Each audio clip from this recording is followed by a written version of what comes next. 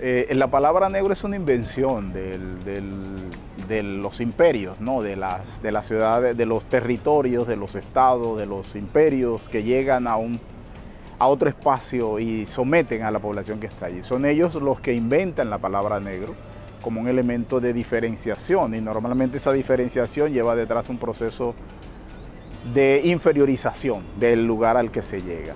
Eh, pero esa palabra eh, se ha resignificado con el tiempo. Cuando los norteamericanos dicen Black is beautiful, lo que están es dándole la vuelta a la palabra negro que eh, tenía un sentido peyorativo. Uno de los, de los procesos más importantes de Colombia en términos de reivindicación política afro se llama procesos de comunidades negras eh, entonces la palabra negro ya hay gente que no tiene ningún problema en usarla porque se ha resignificado. Otros prefieren hablar de afrodescendientes porque es una manera de reconocer que somos la herencia de una diáspora que fue sacada forzosamente del territorio africano, de modo que las, eh, este, personas eh, reclaman esa identidad para reforzar, por supuesto, el sentido histórico que, tiene su presencia en, esto, en los países, en los territorios donde, donde están. ¿Cuál usas tú?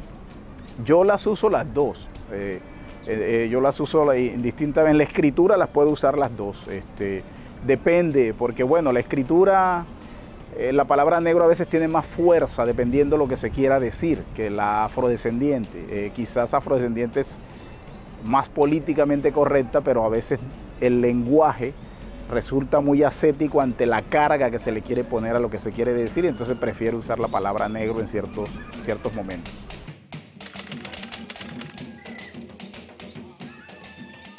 Entonces pasa a veces con, esta cosa de los prejuicios que, bueno, son eh, estructuras, eh, frases, formas que se repiten y se repiten. Hay que historiar los prejuicios hay que historiar de dónde nacen, hay que saber de dónde nacen. No es solamente decir el prejuicio, es cómo se inventa, cuándo se inventa y para qué se inventa, el contexto donde surge. Eso es lo que va a permitir conocerlo y saber que cuando alguien diga algo, decirle, mira, eso que estás diciendo obedece a esto y es esto, y es, una, es, un, es un prejuicio lo que estás diciendo porque eso se inventó precisamente para, para oprimir o para generar estas, estas, eh, eh, estas reacciones en cierta, en cierta gente. Entonces yo creo que el conocimiento es, es clave, ¿no? Este, eh, y es lo que le permite además a los que son víctimas de ese prejuicio poder construir, no esconderse, sino afrontarlo y construir un discurso de la dignidad.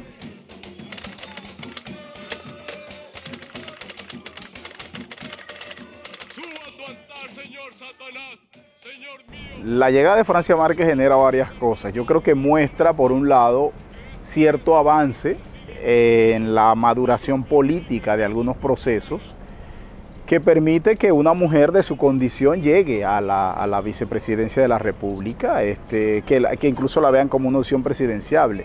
Pero también revela el otro lado, y es que la llegada de ella, la llegada de ella genera, este, genera también eh, un racismo alguno está, que estaba agazapado allí. Eh, mucha gente quizás no sacaba esa carga racista porque no les había tocado vivir la llegada de un funcionario de ese nivel eh, este, afro, negro, ¿no? a, ese, a ese lugar. Cuando llega se da cuenta que le incomoda, ¿no? que le genera cierto fastidio. Por eso yo hablo de esa idea del impensable histórico, que es una, una idea que tomo de un investigador haitiano que se llama Michel Ross Trullo, que cuando, que cuando analiza la revolución haitiana dice que la revolución haitiana es un no acontecimiento. Es un no acontecimiento porque al mundo civilizado blanco, occidental, jamás se le pasó por la cabeza que unos negros pudiesen hacer una revolución moderna, ¿no? desde, los, desde los elementos políticos de la modernidad, como la que hizo Haití. Entonces, el fenómeno de Francia de alguna forma es la aceptación, la supuesta aceptación de lo negro, pero en ciertos escenarios, ¿no? Me sirve que estés aquí, me sirve que estés acá, pero bueno, allá no. Porque hay unas ideas muy bien concebidas, ¿no? En la cabeza de mucha gente de que ciertos lugares solo pueden ser ocupados por ciertas personas. Hay una tradición, como cuando en el siglo XIX Joaquín Posada Gutiérrez, un viejo general bolivariano eh, que se vuelve conserva, muy conservador, que escribe sus memorias justo en el Olimpo radical, en el periodo más radical, digamos en términos de política colombiana del siglo XIX, después de la constitución de Río Negro en 1865, y dice, ¿cómo es posible que ese montón de gente que no tiene origen, que no tiene nobleza, ahora se le ocurra aspirar a ciertos cargos políticos? La política es para las virtudes y los virtuosos somos los que pertenecemos a cierta familia. Entonces pasa lo mismo con este caso, con, con el caso de Francia, eh, y es que pues le cobran que llegó, ¿no? le cobran el haber llegado, le cobran que llegó a ese lugar. Y eso lo los desacomoda. Eh, y disfrazan el racismo con unas supuestas críticas a la seguridad, este, si bailó, si no bailó, cuántos escoltas usó.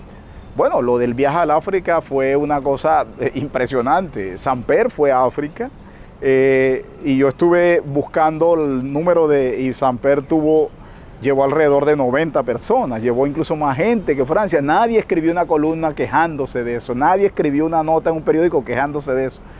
Colombia, valió la pena este viaje, no estamos perdiendo el tiempo, estamos concretando relaciones para cumplirle al país en las promesas de gobierno de hacer una potencia mundial de la vida. Esta mujer va y por primera vez hay una atención de todos los medios en una gira de alta diplomacia como la que, como la que se hizo. Y lo que queda es eso. Esos que escribieron esas líneas no entienden ni siquiera qué es Kenia, qué es Sudáfrica, ni Etiopía, no saben la diferencia entre Kenia y Etiopía, eh, no saben la diferencia entre Nigeria eh, eh, este, y, Marruecos, no saben la diferencia entre Sudáfrica y Ghana no tienen ni idea de eso, porque todo lo meten en una masa África. Y toda África para ellos es una cosa homogénea de safaris y elefantes y tigres y gente que corre en las praderas y gente que está huyendo a los elefantes y gente que tiene un AK-47 y gente que se está muriendo de hambre. ¿no? Este, entonces esos, es, el prejuicio siempre facilita las cosas, ¿no? porque les impide pensar. ¿no? y entonces quedarse con la caricatura. Por eso la caricatura funciona. Porque la caricatura lo que hace es reducir ¿no? y volver un estereotipo a algo que es supremamente complejo, pero lo resume en un estereotipo y genera risa. En este caso, eh, el mismo eh, se caricaturiza una cosa que es supremamente compleja, como un continente, y la importancia que tiene ir a un continente como el africano. Señal Memoria, imágenes y sonidos para la historia.